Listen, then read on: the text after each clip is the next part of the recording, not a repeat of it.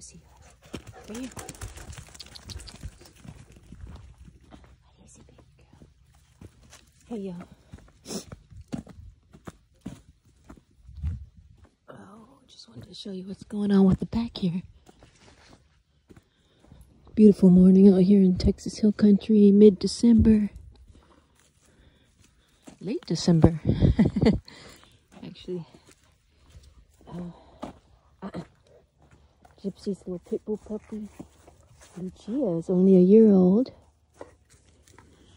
Cane Corso female. Ozzy alpha male. Ozzy.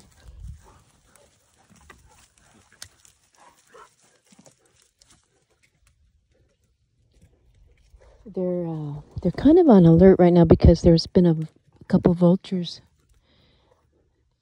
flying around the property. I'm out here on a couple acres and the dogs keep pretty busy with, you know, all the wildlife that's around the property. Tons of deer, foxes, armadillos. recently, porcupine.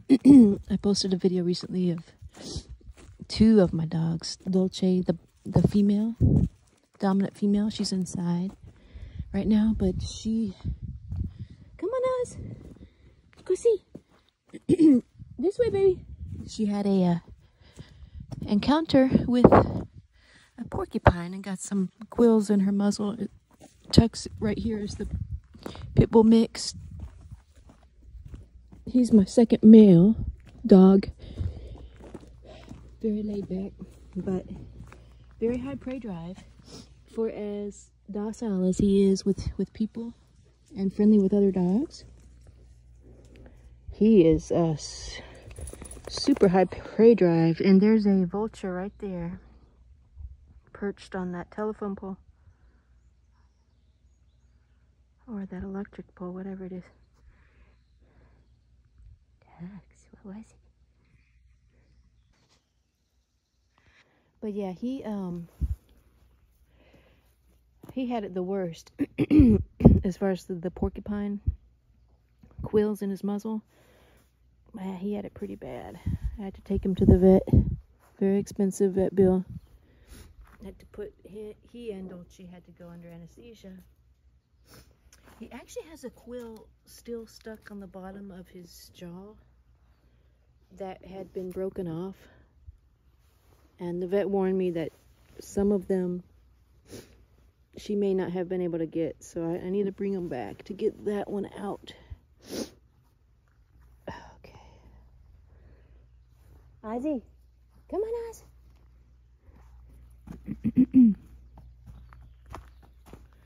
well, we got a lot of rain. It's beautiful out here. Really mild for December. It's probably, uh, I want to say it's in the low 60s. Hi, Papa. yep.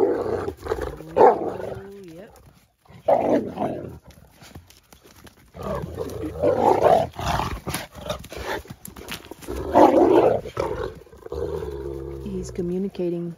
Uh, he's the alpha dog. He's communicating to her. You know, she's still a puppy. She's a year old, but she's still a puppy. He's communicating that that's disrespectful what she's doing. She's kind of invading his space, getting in his face. But she does it out of uh, adoration, submission. It's actually kind of a puppy move, a submissive puppy move. But yeah, highly irritating to him. so he'll let her know. yeah, Lucia, um, for y'all who are just coming in to watch the channel, um, if you haven't been following for a while, Lucia is most likely I'm going to breed her. There's Dolce. yeah, most likely going to breed Lucia. She got a little bit of... Hey, baby girl. What happened? What happened? I'm going to breed her with a black male from a very... Come here, Dolce. There's Dolce. Dolce is the dominant female, adult female. yeah, I'm gonna breed Lucia most likely with a with a uh, a black male from Force Pride out of Russia. Force Pride's a very reputable um, uh, kennel with lots of champions in their bloodline. Their bloodline has huge Cane Corsos, similar to Ozzy's structure.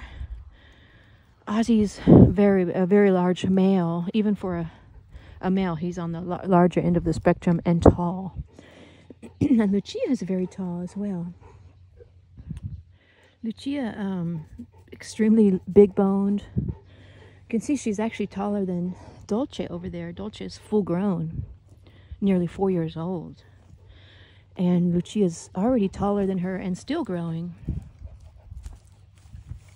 So, so yeah, if you're just tuning in, that's kind of that's the whole pack right there and that's kind of the plans some people were asking me um, about a if if I have puppies or anything but yeah potentially I'll have a puppy um, in about a year's time but um, I had a crazy thought the other day thinking um, so so so I would I would um, you know, I was originally planning on, and still thinking about it, is what you do is you pay a stud fee to a breeder if you just want to use the stud services, and they can ship the, the genetic material to you. I think probably, you know, frozen and preserved, but and then you take the, the, the female to the vet and then she gets artificially inseminated um, that way. So, that's that's an option. The other option I recently, and I say it's kind of a crazy idea, but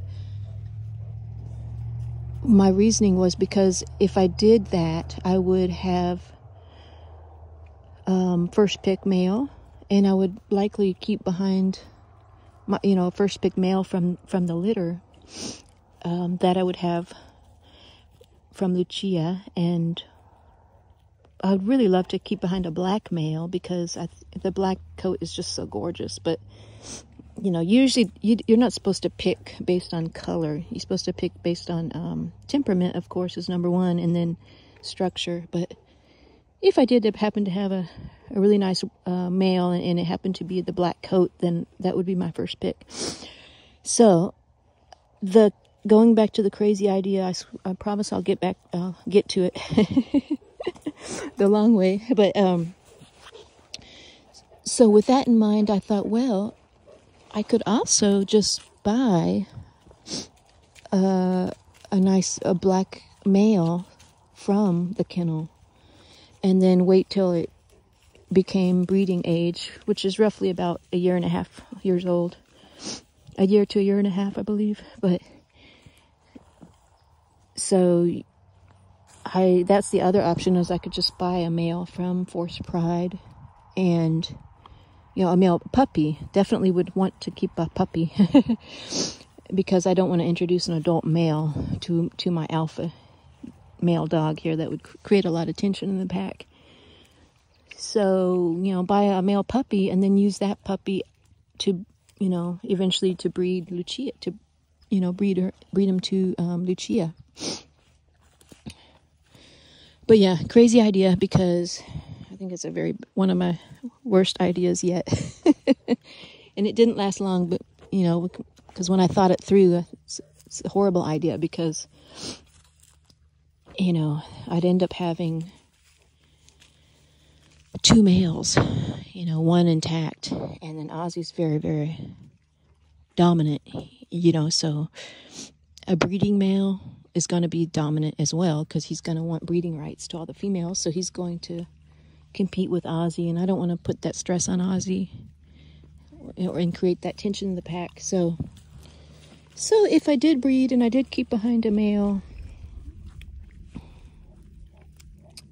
you know, I still have that situation, but um, I don't know. We'll see. I may not keep behind a male just yet, you know, from that, if I do have a litter, because um, for me to do that, I think I'd have to be closer to retirement age to where I could be home all the time to monitor their interactions. If I had two two male Cane Corsos in the pack. So, come on, Oz. Let's go this way. Hi, Tuxie. Hi, what?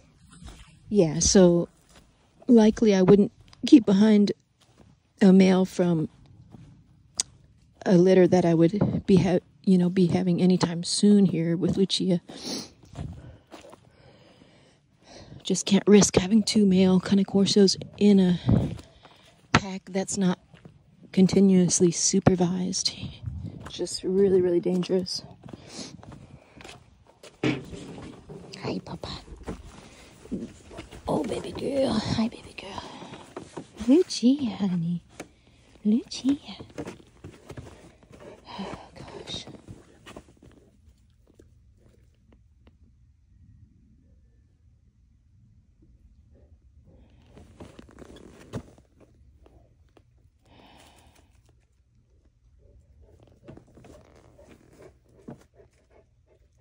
It gonna do?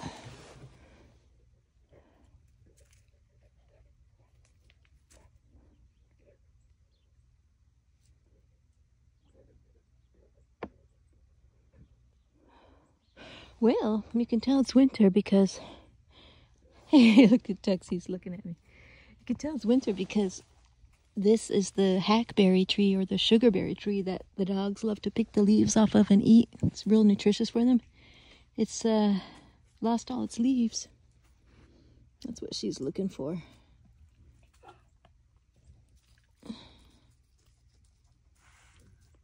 But yeah, Lucia's gonna make an excellent mother because hi Tuxie. She's just um she's a very nurturing dog already. She's been like that with the puppy. She's very patient. I'm excited for her because um I think it's going to help mature her too. You know how she's always getting in Ozzy's muzzle, acting like a puppy. She is a puppy, but I think you know having a litter will help to you know help her to develop, help her to mature. Um, I guess psychologically, she'll have a lot of responsibilities with her with her litter. Lucia, she's trying to eat the bark of, of the sugarberry tree.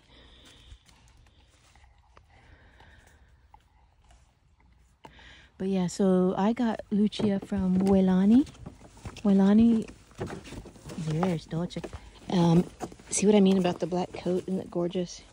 Welani's out of California. I drove all the way to California to get Lucia. And so I know Lucia's mother is absolutely stunning, y'all. Lucia's mother is a huge female, just like her. She got that size from her mother. and her.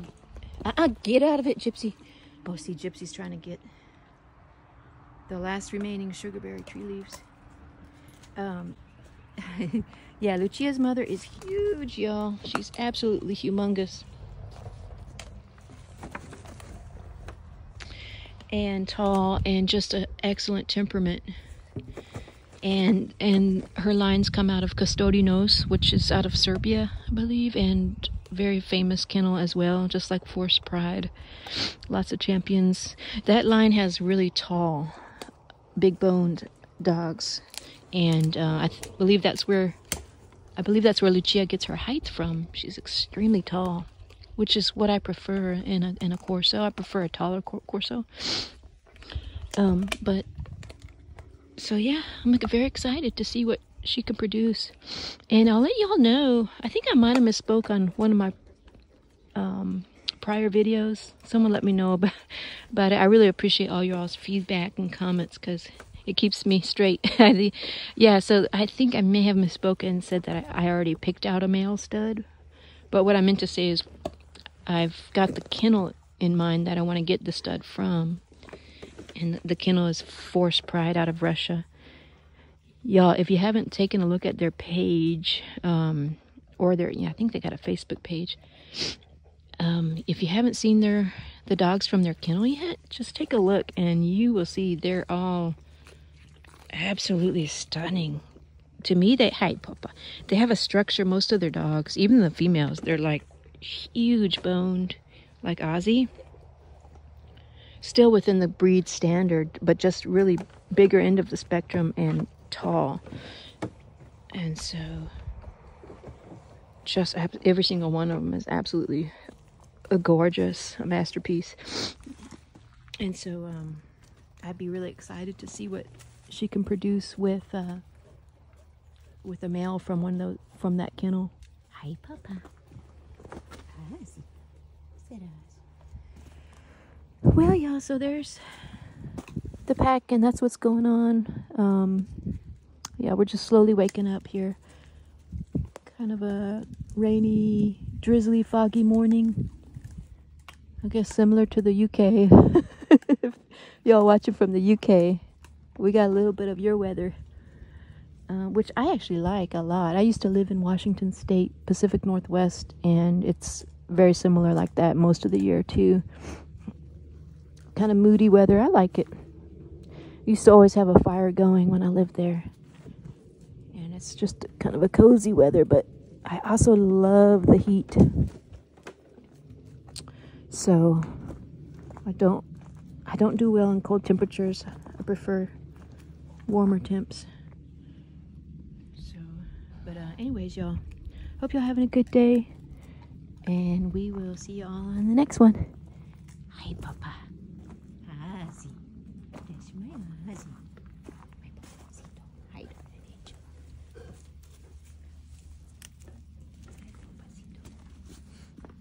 Yes.